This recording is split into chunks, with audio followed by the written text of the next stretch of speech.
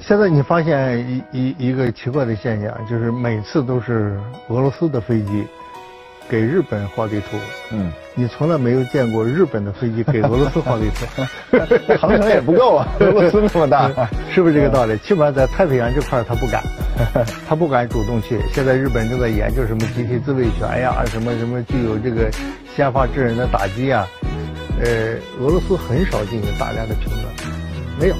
俄罗斯要做的是，你小子你敢，你你弄弄我试试，我一下给你灭了。他他不不怎么说话，他全是用这种实际行动。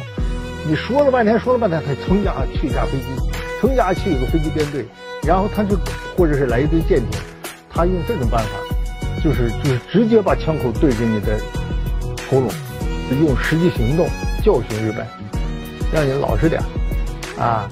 就是他教训日本在于什么暗含的意思呢？就是你要知道你是个战败国，那现在就干脆把这个事儿习以为常了，变成一个例行公事了。嗯，哪天对他们这个日本的高官发表什么言论不满意了，哎，拿飞机转一圈，哎，日本就老实了。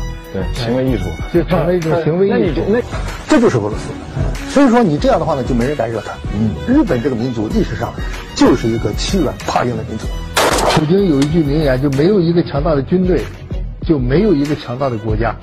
这是人家从自己血的教训当中得出来的经验。如果大家去重读这个畅销书啊，啊，大家都会体会到。我自己是有体会的。其实看书啊，你买了不看也行，你放那个地方，它是个念想啊。买一本吧，啊，钱也不贵，我给你推销推销啊。这个推销书不算。